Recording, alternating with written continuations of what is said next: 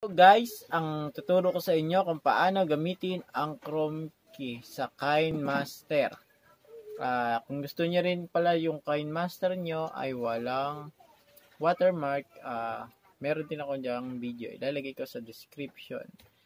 Bago, bago ko simulan yung ating tutorial, may papanood ako sa inyo. Papakita ko kung paano yun. Kung ano yung mangyayari kapag ginamit nyo yung Chrome key. Yan. So guys, pero bago ang lahat, shout out sa kapatid na nag-request ng video na to. And sa mga hindi ko pa friends yan, please like and subscribe.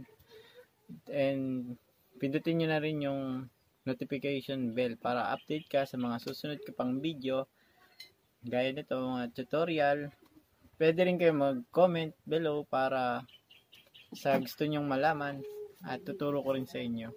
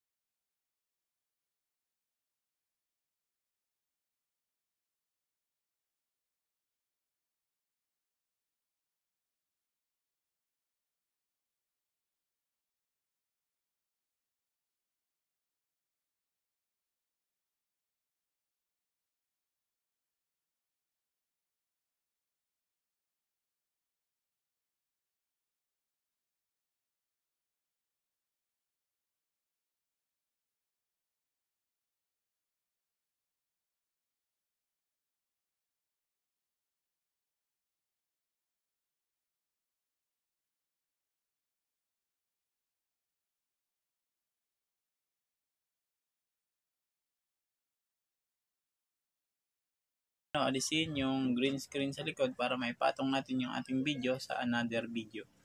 Yan, gaya nito. Yan. Una, kailangan natin ng cortina na green para madaling alisin yan. O, pindutin natin ang Chrome key. Pindutin ang Chrome key. Tsaka piliin ang kulay kung ano man yung nasa background natin. Tsaka adjust natin ang konti yung mawala na talaga yan. Yan, yan. Pag tingin nyo eh, clear na siya, okay na yan. Try natin play. Yan, pwede na ganyan. Yan. Ayan, nagsasalita ako, makanta nga dyan. Yan, tinan ganyan, matuto kayo, sabi ko dyan. So, yan guys. Ko.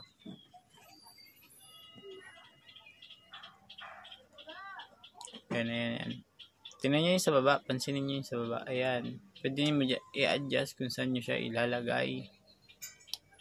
Pindutin ang chrome key. Yan ulit. Adjust natin yung kulay. Palabuin lang natin yung nasa likod. Ayan. Pagtingin nyo okay na.